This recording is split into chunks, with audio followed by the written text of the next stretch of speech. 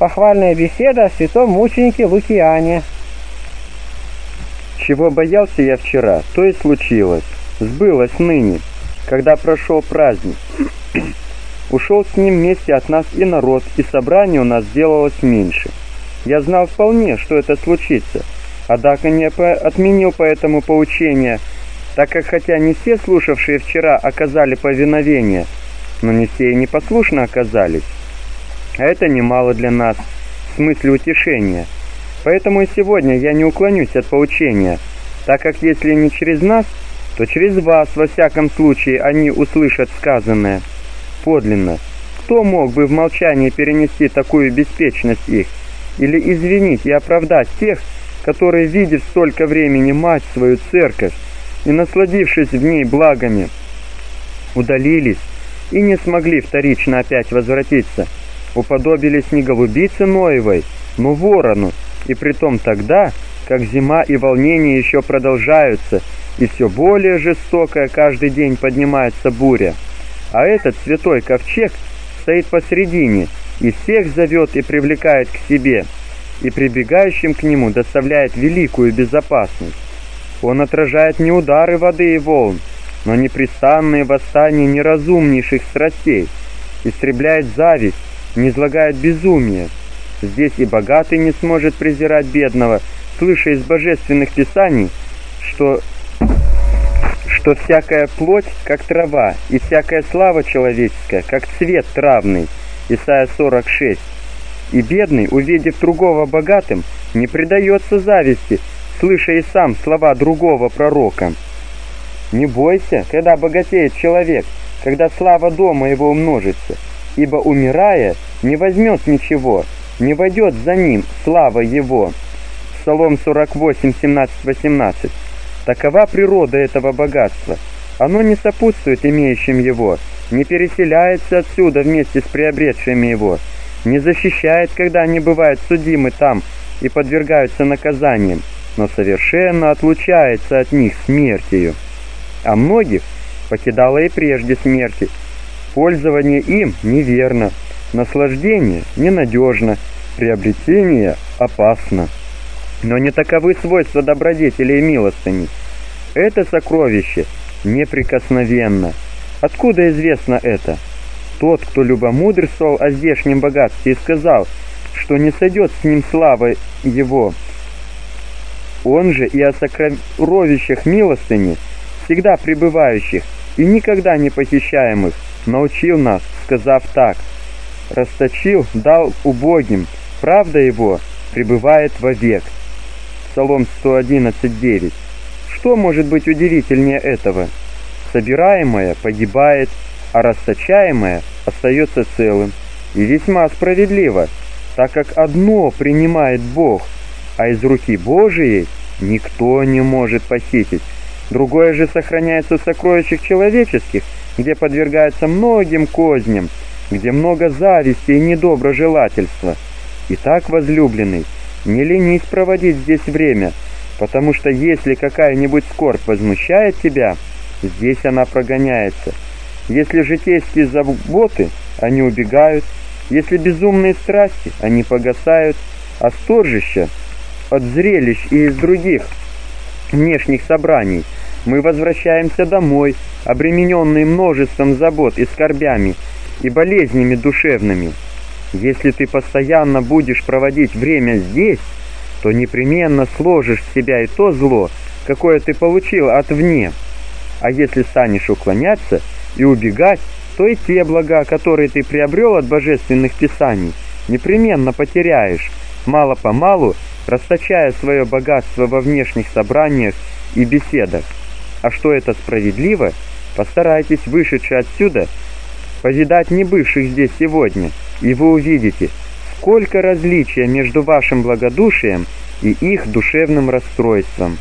Не так прекрасна и приятна невеста, сидящая в брачном чертоге, как дивно и славно душа, являющаяся в церкви благоухающей духовными ароматами.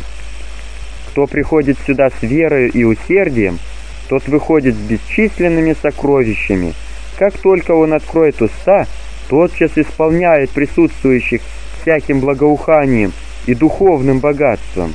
И хотя бы постигли его бесчисленные бедствия, он все перенесет легко, получив здесь от божественных писаний достаточное побуждение к терпению и любомудрию. И как стоящий постоянно на скале смеется над волнами, так и участвующий постоянно в церковных собраниях и орошаемый божественными изречениями, утвердив себя как бы на скале правильного суждения о вещах, не увлечется ничем человеческим, ставший выше напора житейских дел, получив великую пользу и душевное утешение не только от поучения, но и от молитвы, и от отеческого благословения, и от общего собрания, и от любви братьев, и от многого другого. Он таким образом возвращается, принося домой бесчисленные блага. Посмотри же, какого вы сподобитесь сегодня благословения, и какую те понесут потерю. Вы уйдете отсюда, получив награду мучеников, а они, кроме того, что лишатся этой прибыли, потерпят еще другой вред, навлекший на себя от бесполезных занятий большую кучу забот. Как принимающий пророка во имя пророка получает награду пророка, и принимающий праведника во имя праведника получает пра награду праведника, Матфея 10:41, так и принимающий мученика во имя мученика получит награду мученика. А прием мученика собираться в память его, участвовать в беседе об его подвигах, дивиться совершенному им, соревновать добродетелю, передавать другим доблести его. Таково угощение мучеников. Так принимают этих святых, как и вы поступили сегодня. Итак, вчера Господь наш крестился водою, а сегодня раб крещается кровью. Вчера отверзлись врата неба, сегодня попраны врата ада. Не удивляйтесь, если я мученичество назвал крещением.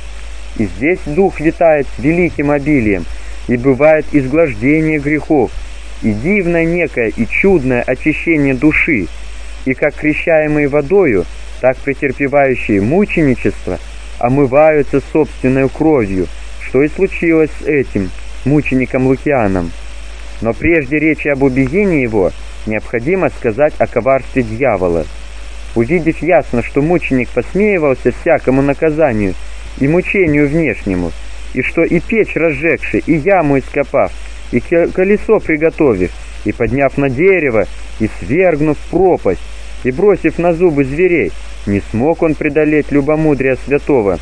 Дьявол придумал другой, жесточайший способ — и постарался изыскать такое мучение, которое было бы и самым резким, и вместе самым продолжительным. Так как из наказаний невыносимые доставляют весьма скорое избавление, а более продолжительные причиняют меньшую боль, то он постарался найти наказание, совмещающее то и другое, и продолжительность, и чрезвычайную невыносимую боль, чтобы и силою, и продолжительностью времени – сокрушить твердость души мученика. Что же он делает? Он предает святого сего голоду. А ты, услышав о голоде, не оставляй этого слова без внимания. Это самое жестокое из всех смертей. Свидетелями тому, испытавшие голод, не дай Бог нам испытать его. Мы хорошо научены молиться, чтобы не впасть в искушение. Матфея 26:41. Он, голод, как бы палач какой, сидящий внутри утробы, терзает все члены сильнее всякого огня и зверя, пожирая со всех сторон тело, причиняя постоянную и невыразимую боль. И чтобы знал ты, каков голод, скажу, что и детей часто съедали матери, не вынесши силы этого зла. И пророк, оплакивая это бедствие, сказал – Руки мягкосердых женщин варили детей своих, плач Еремия 14.10.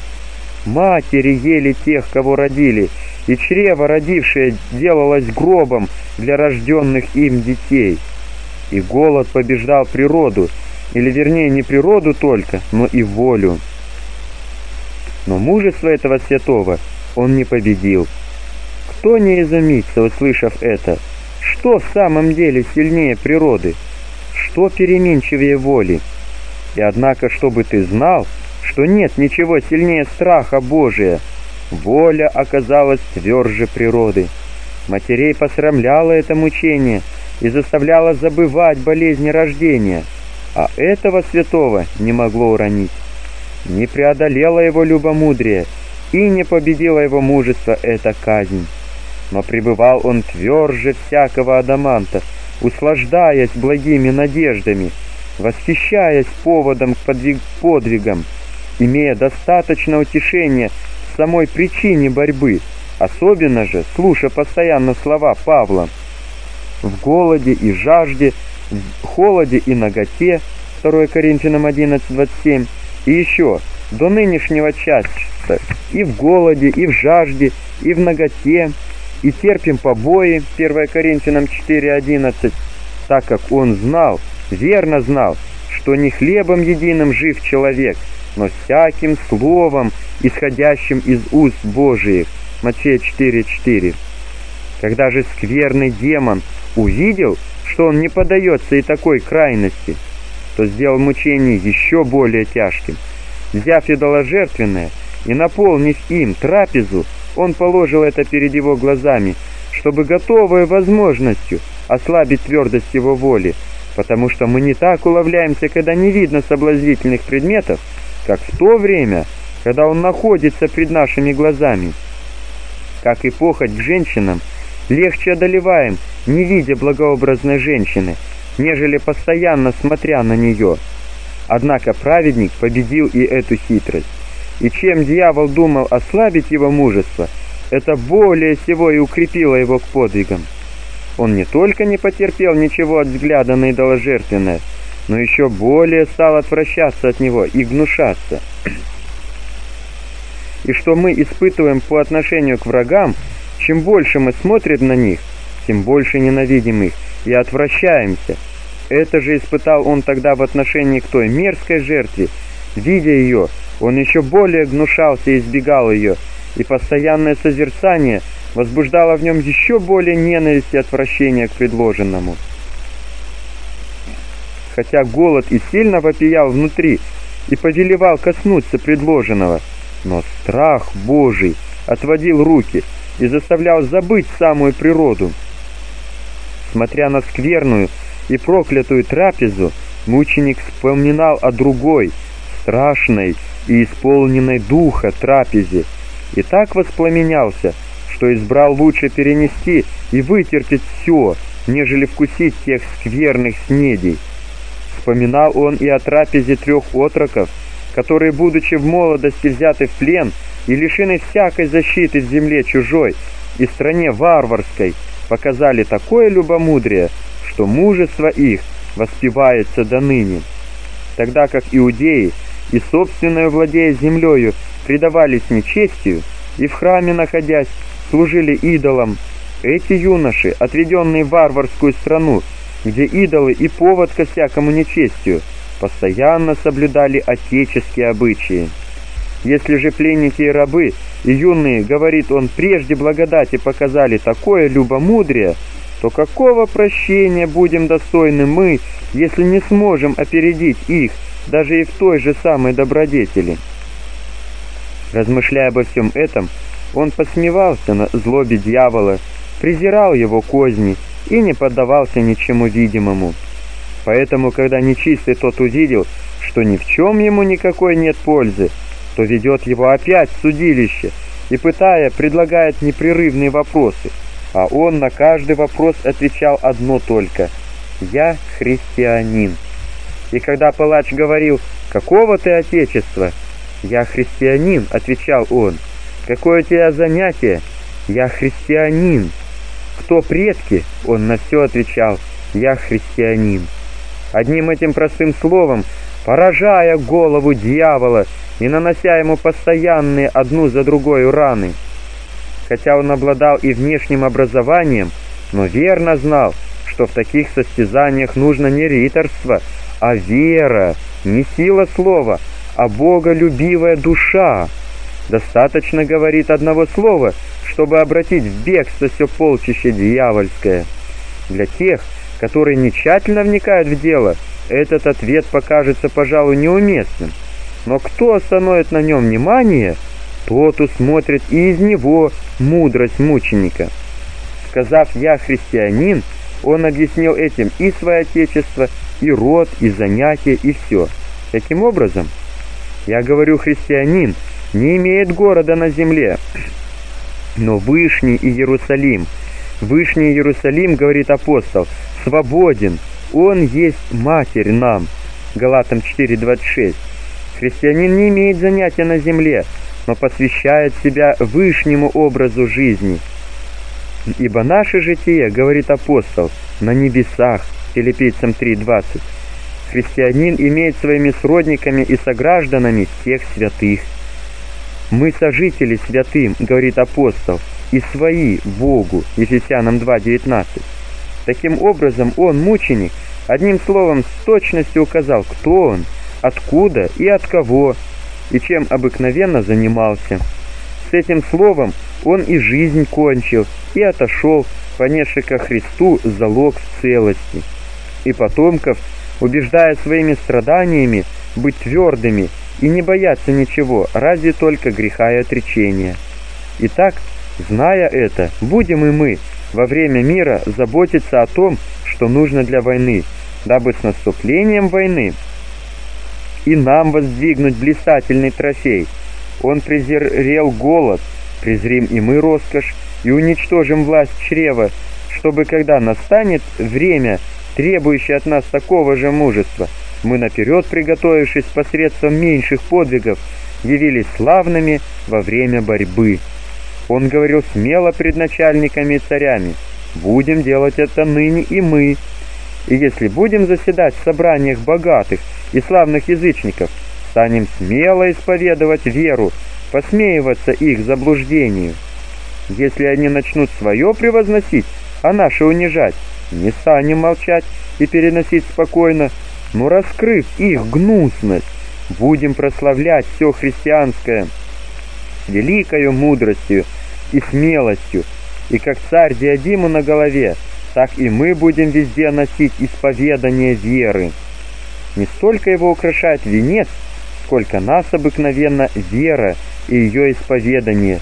И не словами только, но и самыми делами станем делать это, являя и жизнь во всех достойную исповедание, чтобы гнусностью дел не посрамить догматов, но во всем, прославляя нашего владыку, насладиться и здесь, и там, честью, которую досподобимся все мы, благодатью и человеколюбием Господа нашего Иисуса Христа, через которого и с которым Отцу слава, держава и честь со святым и животворящим Духом, ныне и присно и во веки веков. Аминь.